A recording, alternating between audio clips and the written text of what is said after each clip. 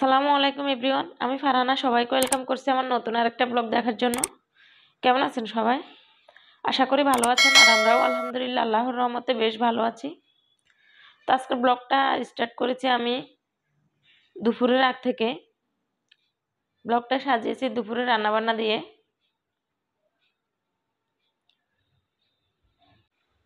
তো আমি প্রথমে মাছ বসিয়ে দিব, অন্য চুলা দিয়ে ভাত বসিয়ে দিয়েছি। তো আমি চিংড়ি মাছ ভুনা করব। চিংড়ি মাছের জন্য আমি প্রথমে পেঁয়াজ, কাঁচামরিচ এগুলো ব্রাউন করে নেব। এবার দিয়ে দিচ্ছি রসুন।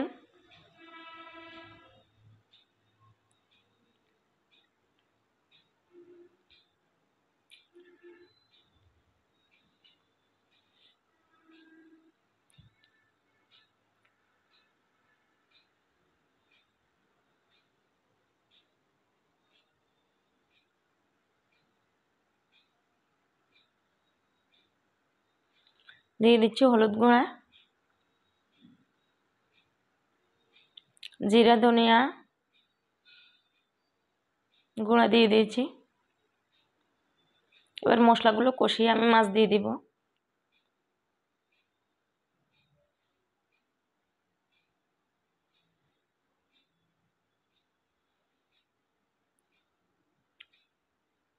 তো মাছগুলো ভালো করে ধুয়ে রাখার কারণে সেজন্য আর বরফ ছাড়তে হয়নি। বরফ ছাড়ার জন্য অপেক্ষা না করে আমি বরফ সহকারে দিয়ে দিয়েছি।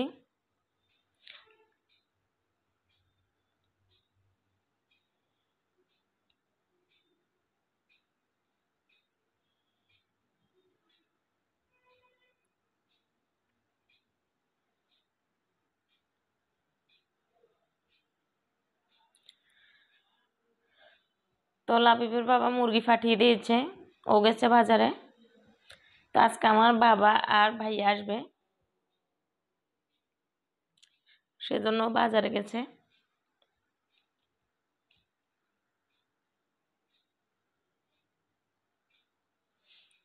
তো আমি মুরগিগুলো কেটে ধুয়ে রান্নার জন্য রেখে বাকিগুলো বক্স করে রেখে দিব ফ্রিজে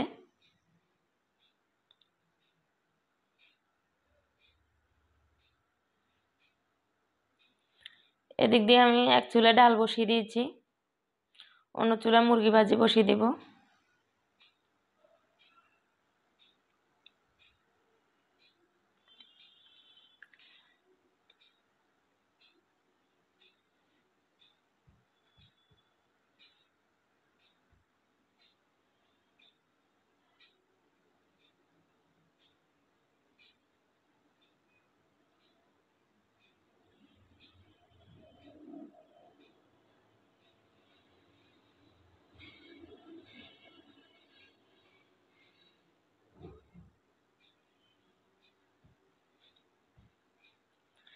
আমার মুরগিগুলো প্রায় ভাজা হয়ে গেছে। তা আমি ওই মুরগি ভাজা তেলে পেঁয়াজ, কাঁচামরিচ দিয়ে মুরগির জন্য মশলা কষিয়ে নেব।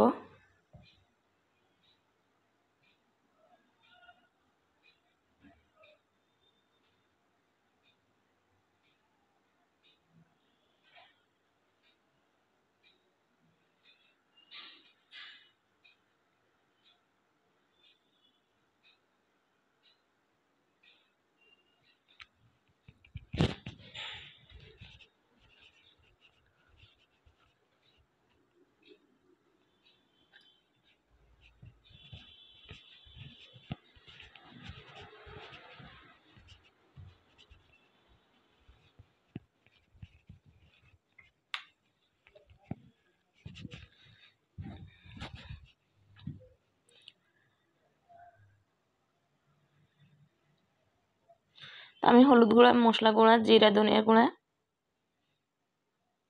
দিয়ে দিচ্ছি। এবার দিয়ে দিচ্ছি আদা। তো আদার মধ্যে ভুলবশত একটু পানি পড়ে গেছে, সেজন্য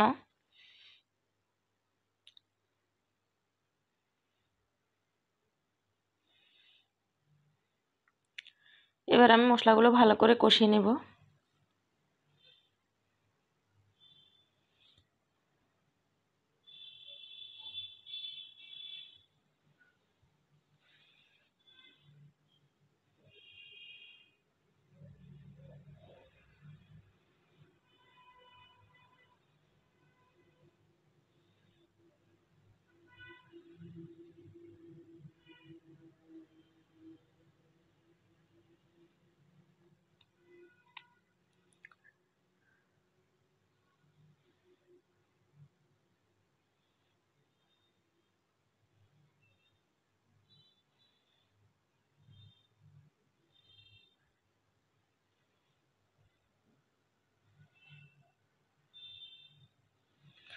মুরগিগুলো কষানো শেষ, আলু দিয়ে দিয়েছি।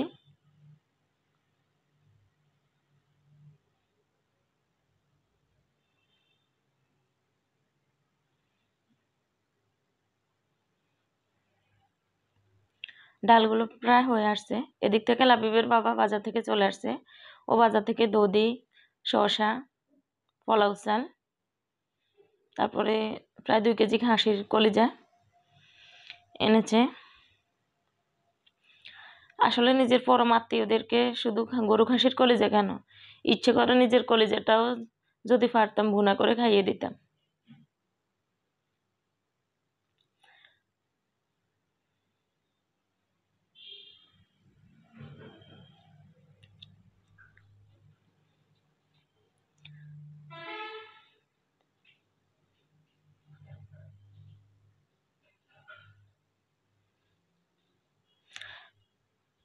তো যখন শুনি নিজের বাবা আর ভাইয়া আসবে, তখন রান্না বান্না করতে মানে কাজকর্ম করতে আলাদা একটা সুখ অনুভব হয়। আমার মনে হয় প্রত্যেকটা মেয়ের ফিলিংসটা এরকমই। তবে কেউ কাউকে বুঝাতে পারে না, সেটাই। তো আমার বাবা মা ভাই বোনের চেয়েও আরও বেশি পরমাত্মীয় আমার।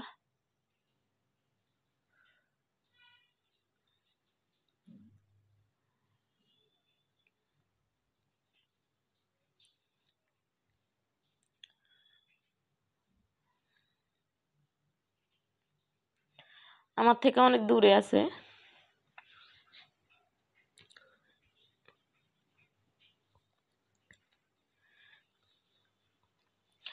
আমার সে পরম আত্মীয়ের কথা।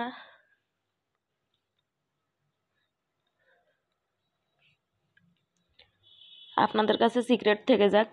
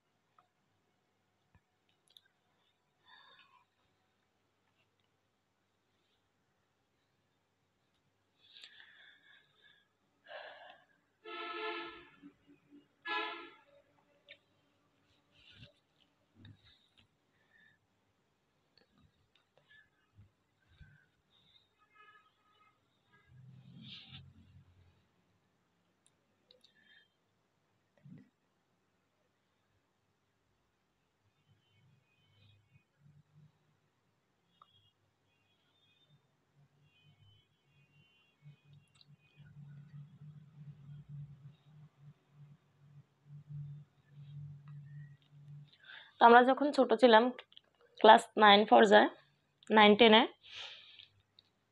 তো মাদ্রাসা লেভেলে বাংলা বইতে একটা প্রবন্ধ ছিল, নমাজ। ওই প্রবন্ধে একটা প্রবাদ ছিল যে, কোথায় আমার পড়িয়াছে পরমাত্মীয় আমি জানি না, আমি বুঝি না কি, কিসের ব্যথা, কেন এই ব্যর্থতা বোধ? আমি বুঝি না। আসলে ওই প্রবন্ধের ওই প্রবাদটা আমার জীবনে সত্যি হয়ে গেছে। আমার সেই পরম আত্মীয়দেরকে রেখে আমি প্রতিনিয়ত কত।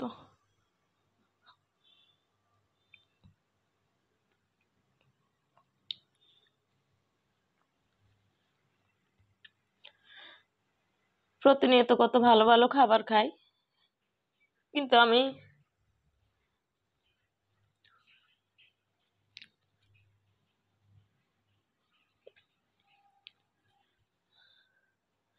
আমি জানিও না, দেখিও না।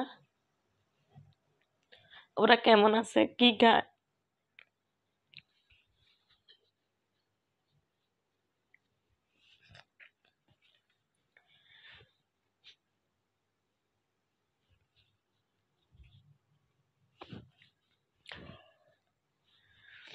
I am sorry extremely sorry actually আমি অল্প কিছুক্ষণের জন্য একটু ইমোশনাল হয়ে গেছি।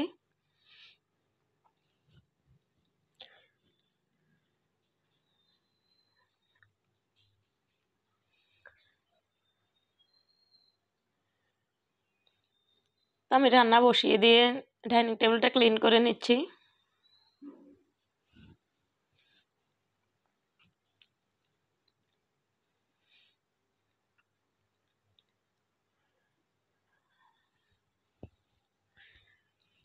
আমার বাবা সোনাটাকে বসিয়ে রেখেছি। কান্না করতেছে। ওই যে মাথা নাড়তেছে, বলতেছি যে, আল্লাহকে ডাকো। ও আল্লাহকে ডাকবে না এখন, মাথা দিয়ে না করতেছে। আমার তরকারিগুলো হয়ে গেছে। কলিজাগুলো এখনও হয় নাই।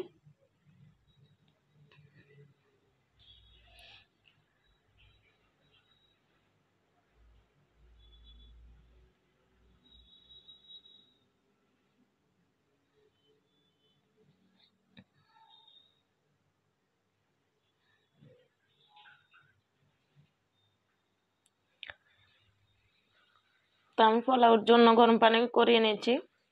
এবার আমি পোলাও বসিয়ে দিব।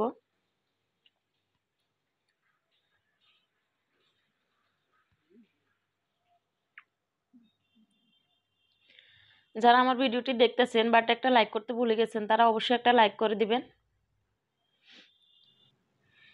যে একটি অনুরোধ আমি প্রতিদিনই সবার কাছে করি প্লিজ আমার চ্যানেলটা সাবস্ক্রাইব করে দিবেন। আর পাশে থাকা বেল বাটন প্রেস করে অল নোটিফিকেশন অন করে দিবেন। যাতে আমার নতুন কোনো ভিডিও আপলোড করার সাথে সাথে আপনার নিকট নোটিফিকেশন পৌঁছে যায়। আর যারা অলরেডি করে ফেলেছেন, তাদেরকে অসংখ্য ধন্যবাদ।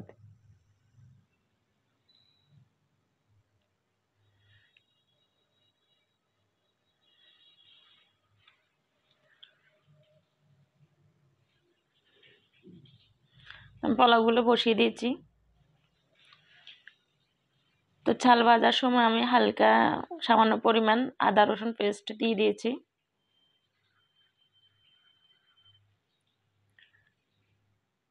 আমার চালগুলো ভাজা হয়ে গেছে, তো চুলেটা অনেক উপরে, সেজন্য গরম পানি ঢালতে আমার ভয় লাগে। তো লাবিবের বাবাকে বললাম যে, একটু হেল্প করো। তো আমাকে হেল্প করে দিয়েছে।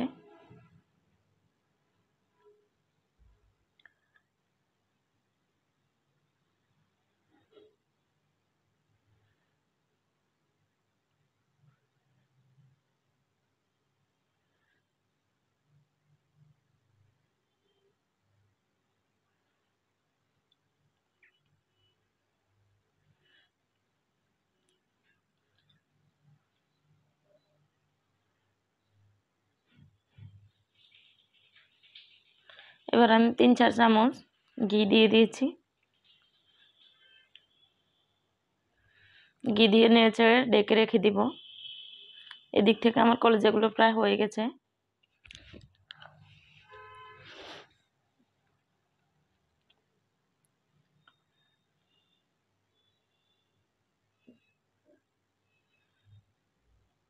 এবার আমি ডিম সিদ্ধ বসিয়ে দিব। তো দেশি মুরগির ডিমগুলোতেও অনেক ময়লা লেগে আছে ওগুলো ধুয়ে নেব।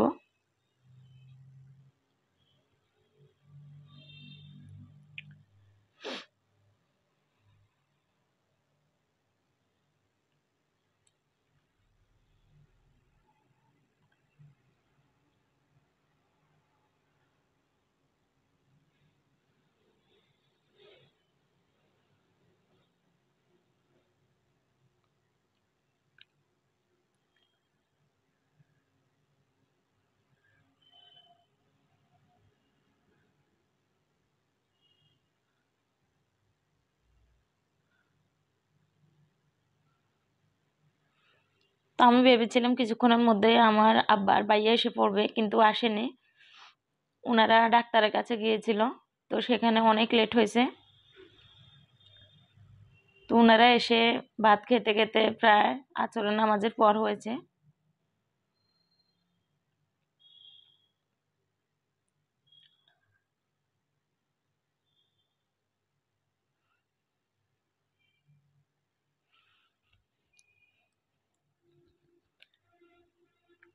তো দু চুলের ফাতিল থাকা অবস্থা আমি চুলা ক্লিন করে নিচ্ছি।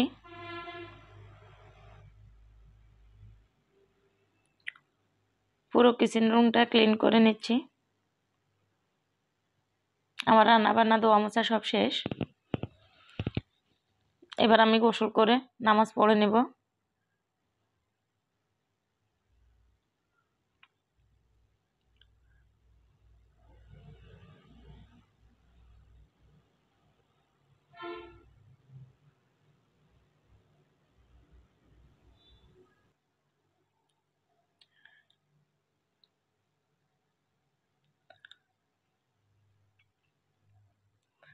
তো আজ আর কোনো কিছু শেয়ার করলাম না আপনাদের সাথে।